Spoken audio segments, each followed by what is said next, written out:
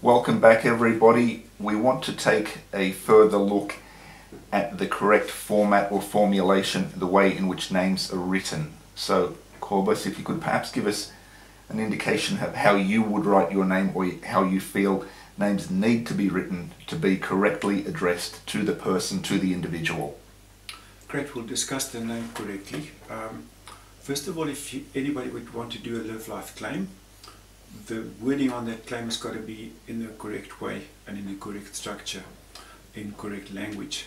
Uh, now, what I'm discussing is not necessarily the use of the English language or a grammar lesson or a lesson in quantum language because English is not my language and I'm not a quantum expert. We will be giving our details of quantum experts at some point in time which people are welcome to follow and learn more about quantum. It's, it's a bit of a language to master. Uh, the people that are really good at it spend around 2,000 hours to learn exactly how quantum works and what it's all about and how to do contracts and, and use quantum correctly. It's not somebody that or something that anybody can just do out of the blue and say, oh, you know, it's a new language like Spanish or, or Latin or, or, whatever. No, quantum is, is, is, is, a tough one. But once you've done that, you'll be able to write contracts and to use words and to use paper and documents in a way that nobody will trespass on what you create on your documents. And the most interesting aspect in all of it is a funny thing called a colon. And uh, this is what the colon looks like. It's a full colon, meaning that the two dots are not just one, it's not a semicolon. And it's just two little dots on a piece of paper. Now what these two little dots mean is they separate things and they make things factual. Now it means that anything that is written before and after a colon is separated or becomes a fact. And people say, yeah, but how can it be that important? You know, how can somebody put something behind a colon and make, the, how does that make it a fact? Now, when we look at a, a, a, a watch or a time, the way that time is written, you'll see that the hours and the seconds are separated by a colon. Yes. Now, why would that be? That makes the second a fact. And because they change all the time, it keeps them a fact as they change.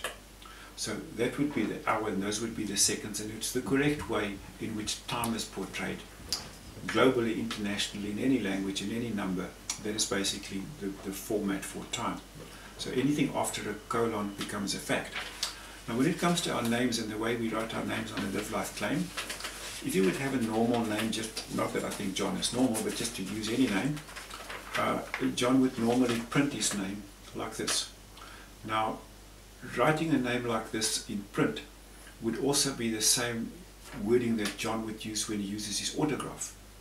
Now, printing and cursive writing is different. Cursive writing is fluent writing where the letters are being joined together continuously as in current or flowing, which is maritime, which is cursive, and cursive means it's cursed. So John wouldn't like to write his name anymore after he's done his live life claim by using cursive writing. He would be printing his name like this, but this is not correct.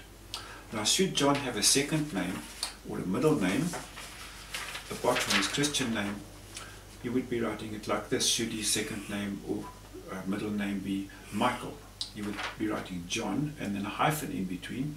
And then Michael will be written in lowercase. All in lowercase? Yes. Whereas the John, as I can see what are you're holding up to the camera, we see capital J at the beginning of the name John. Yes. Hyphen, Michael, all lowercase. Because a second name is not a name.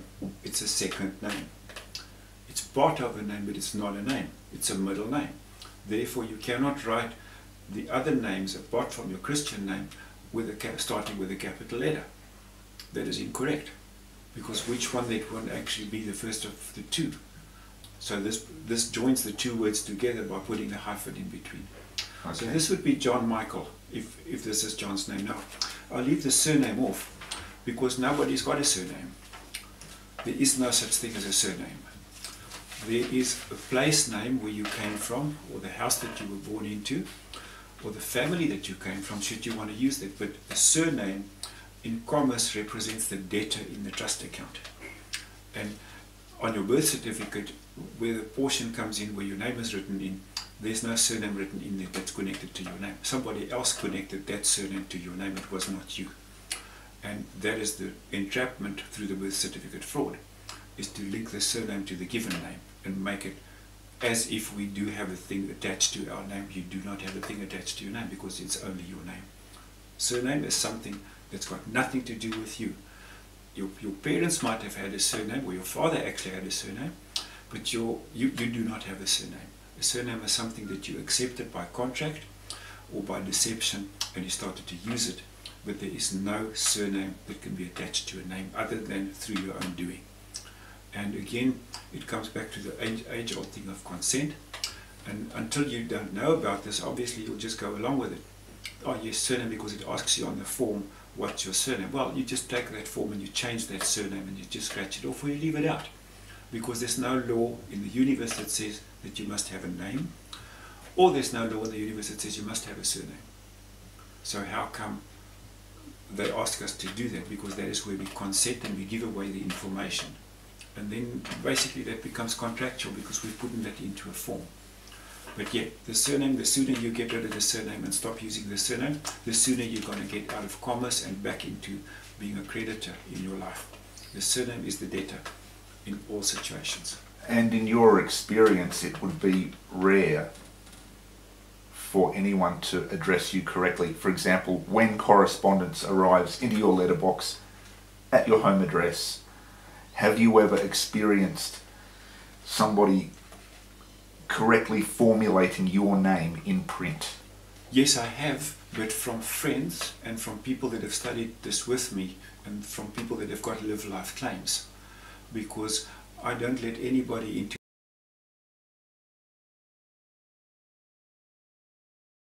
my life that doesn't have a live life claim. Because anybody not having a live life claim is contracted to the world of the dead.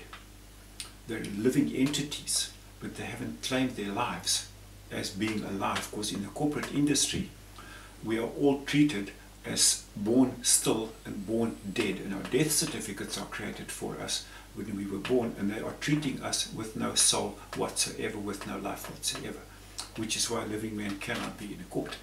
It's impossible for a living entity to be in a court. You have to be there as a corporation or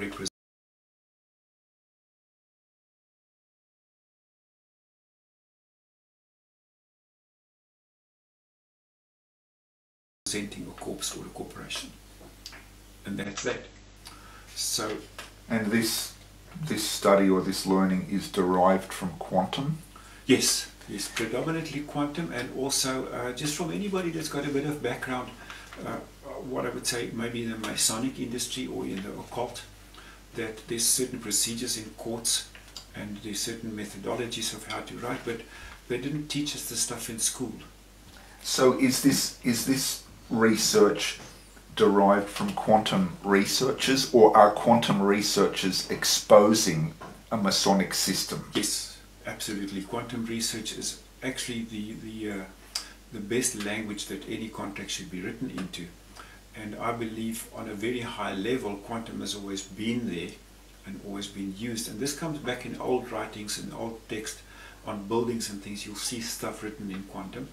Quantum is also almost the language of maritime which makes it interesting as well. Of course, maritime has been there since, you know, people talk about the ancient mariner.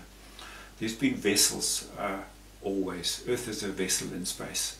A piece of paper is a vessel in space.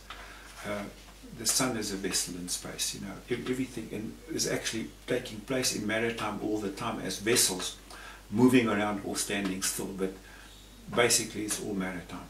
And quantum regulates all of that, but in the correct way which makes it interesting. So if John would be writing his name just as John, that is incorrect because it doesn't mean that his name is a fact. So by putting a full colon or a colon in front of the word John, John becomes a fact.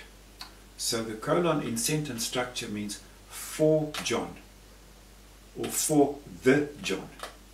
But the interesting thing is John hasn't closed his name.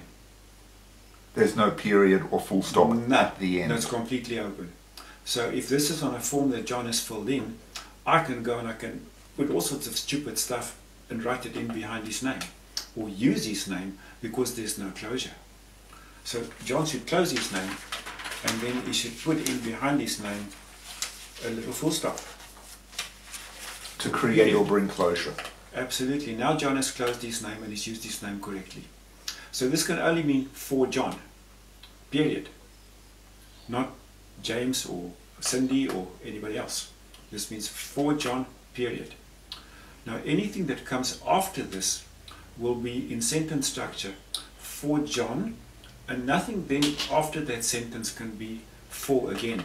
It has to be from or about and that's the way that the name was written. So let, we'll go to the second part behind the John. If John would have a middle name, and we'd use it like that.